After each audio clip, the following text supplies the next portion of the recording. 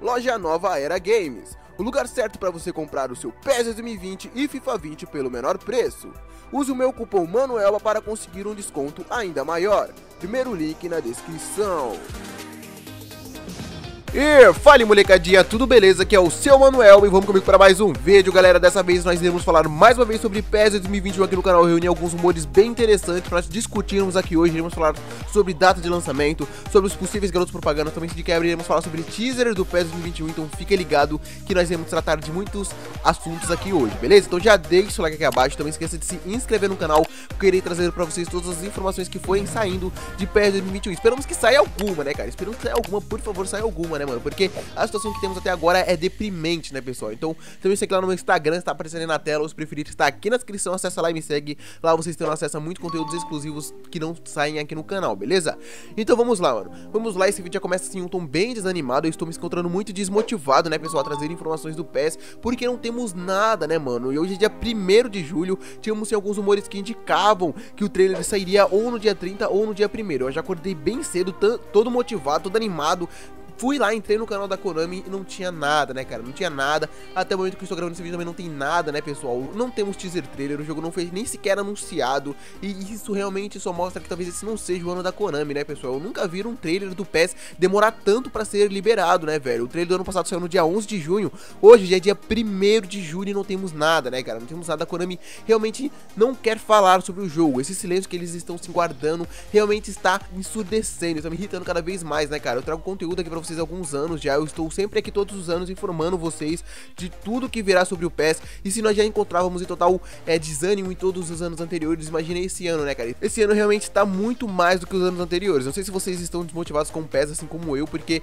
é a Konami, em pleno dia 1 de julho, faltando apenas dois meses para o lançamento do jogo, dois ou três meses, cara, eles não falam nada sobre o jogo, isso realmente não é bom, né, cara? Não é positivo. Eles não querem sequer soltar uma informação, um teaser, realmente não sei se vai ser algo decepcionante. É claro que se a E3 estivesse ocorrendo, se fosse sua programação normal e não tivesse essa pandemia e tudo mais, que provocou-se no cancelamento de todos esses eventos. Talvez já, tínhamos, já teríamos trailers, porque de prática todos os anos eles liberam esse trailer na E3, que já era até para ter se encerrado, né, pessoal? Então, eu não sei o porquê que eles estão esperando tanto para liberar um trailer ou alguma informação sobre o PES. Talvez isso demonstre que não teremos nada, né, pessoal? Mas realmente eu só queria dar esse pequeno desabafo para vocês no começo desse vídeo, porque é algo que está me irritando, está irritando vocês também, consumidores, eu tenho certeza disso, né, pessoal? Porque a Konami não quer falar nada, por isso que os vídeos aqui do canal estão sendo rumores, mais rumores, porque de oficial mesmo nós não temos nada. Nós nem sabemos sequer se o jogo vai sair, né, cara? Porque nenhum anúncio ainda ocorreu. Então, isso me deixa realmente bem desanimado. No, todos os anos, o PES sempre costuma liberar o seu teaser bem antes do que o FIFA. E esse ano, o teaser do FIFA saiu há 10, 15 dias atrás. E a Konami ainda não se, não se pronunciou, nem sequer abriu a boca quanto ao novo game, né, pessoal? Isso realmente só mostra o descaso que nós, consumidores, estamos tendo quanto a essa empresa. O jogo está ainda assim guardado a sete chaves, eles não querem liberar nada quanto ao assunto. O trailer realmente nós não sabemos quando é que vai sair. Eu não vou mais arriscar nenhuma data, porque quanto mais parece que está chegando o anúncio oficial do game, mais ele parece estar distante, mais parece que ele não vai acontecer. Então vamos esperar para ver se sequer o PES irá sair esse ano, né, pessoal? Porque o que está acontecendo é algo realmente de outro mundo. Eu reuni em alguns rumores que eu pude se encolher no site do We Brothers, que são que se diferem principalmente quanto à capa do game, sobre os seus garotos propagandas que ficaram sem a frente a franquia esse ano, que segundo o Renan Galvani, ele trouxe assim o rumor é, dando os jogadores que possivelmente irão dividir a capa com o Messi na season update do PES 2021, né, pessoal? Vocês já estão vendo aí na tela, possivelmente irá se prosseguir o Messi como um garoto propaganda master principal para o próximo game, como sempre todo ano costuma acontecer, e para o Bar de Munique teremos o representante principal como Lewandowski, que realmente não tem como esperar outra coisa. Lewandowski é o craque da equipe, né, pessoal? E sim, ficará à frente a franquia esse ano, é, representando a sua equipe e também o game no seu país.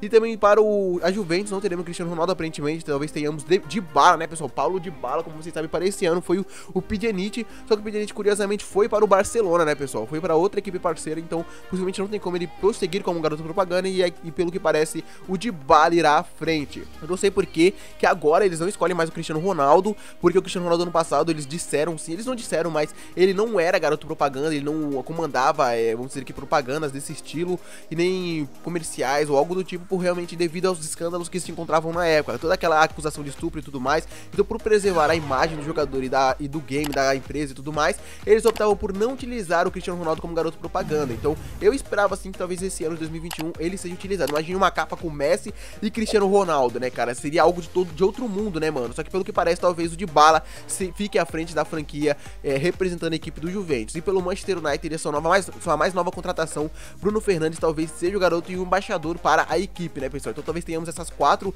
esses quatro jogadores à frente. Já é um avanço, né, em relação ao último ano, porque o último ano tivemos o Gnabry, o Messi, obviamente, da Juventus tivemos o Pjanic e do Manchester United tivemos o Scott, né, pessoal? Então são jogadores, assim, um pouco mais conhecidos, um pouco mais populares, que talvez sim irá assim alavancar ainda mais o nome do PES, né, pessoal? Porque quanto mais jogadores famosos tem à frente da franquia representando o seu game, mais pessoas se sentem interessadas em conhecer o jogo, né, pessoal? Então, esses jogadores mais famosos, é claro que eu me encontrei em total desânimo, porque não temos o Cristiano Ronaldo, ia ser muito bacana termos o Cristiano Ronaldo e o Messi dividindo a mesma capa do mesmo game, mas pelo que parece, isso talvez não ocorra, e o Paulo de Bala também é outra excelentíssima opção para representar a equipe da Juventus na capa oficial do PES 2021. É claro que não sabemos se sairá em mídia física e tudo mais, tudo comprova que deve sair também uma mídia física para o PES 2021 com esses jogadores dividindo a capa principal. Talvez tenhamos sim, como vocês podem ver, esse ano talvez seja mais um ano que irá sim dividir quatro jogadores na capa e não apenas um, como costumava acontecer anteriormente, anos atrás.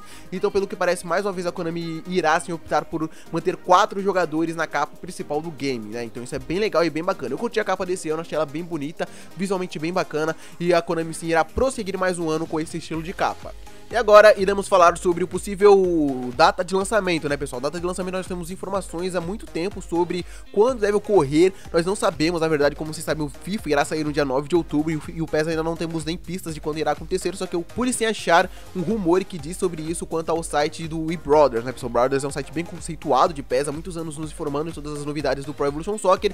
Ele disse sim que mais um rumor que surgiu em, em torno do tão aguardado do PES 2021, né, pessoal? É envolvendo a versão antiga do jogo, o PES 2021 2019 de ser no 5 serviço online do último jogo, né, pessoal, do último PES 2019 que foi sim lançado ano retrasado, acabaria no dia 27 de agosto, né, pessoal? Dia 27 de agosto os servidores sim sendo desligados de, teve sim sua data de encerramento adiada para o dia 29 de setembro, né, pessoal? Um mês depois. Então disse que o jogo que havia sido anunciado ter seus servidores desligados no dia 27 de agosto foi sim adiado para o dia 24 de setembro, né, pessoal? Então um mês após, se você ainda joga o PES 2019, aproveite sim mais um mês que você terá para poder assim jogar o PES 2021 online. E seus servidores serão desligados só lá no outro mês, só em setembro, que é quando sim o jogo do PES 2021 deve ser lançado. Assim, muitas pessoas começaram a especular, né, pessoal, que o PES 2021 só seria lançado lançado na segunda quinzena de outubro, dado que o online do PES 2019 funcionará até o fim de setembro. Então o PES 2019 funcionará até o fim de setembro, serão sim desligados os servidores do game e o PES 2020, é claro, prosseguirá por mais um ano, né, pessoal? Você que não comprará o PES 2020, você poderá jogar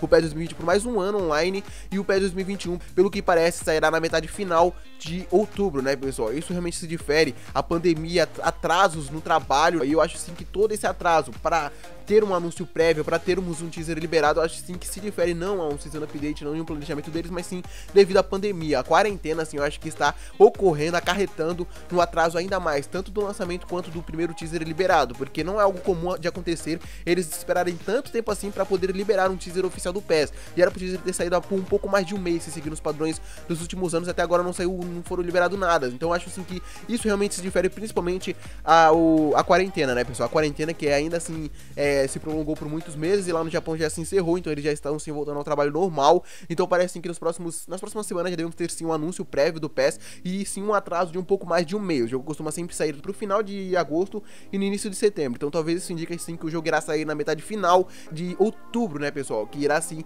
se atrasar por mais alguns meses, então não é tão tarde, o jogo irá sair ainda esse ano, né, pessoal? O jogo irá sair ainda em 2020, então você que esperava talvez o jogo sair lá em 2021, isso não vai acontecer, vai sair ainda esse ano. Talvez nessa nesse esses dias em que eu dei esse prazo, né, pessoal? No, na metade final, do dia 15 até o dia 31, deve sim ser liberado o PES 2021. É claro que irá variar de regiões para países e tudo mais, mas entre essas datas devemos ter sim um anúncio e devemos ter sim um lançamento oficial do PES 2021 para todo mundo. E aí, pessoal, você curtiu o vídeo hoje? O vídeo hoje não foi tão completo as informações e tudo mais, como eu, eu como adiantei para vocês no título, realmente iremos se tratar de rumores, porque informações oficiais não temos nenhuma até o momento. Infelizmente, a Konami está guardando tudo a sete chaves, não quer falar sobre o próximo game. Realmente eu quero que você deixe aqui nos comentários a sua opinião. Se você acha que eles não querem falar porque terá poucas novidades, se terá muitas novidades, eles estão guardando realmente essa surpresa para liberar essa bomba para todos nós jogarmos o hype lá em cima, ou realmente é devido à quarentena que eles estão sentindo todo esse atraso em anúncio, lançamento e tudo mais. Deixa aqui nos comentários que eu quero saber a opinião de vocês quanto a esse assunto.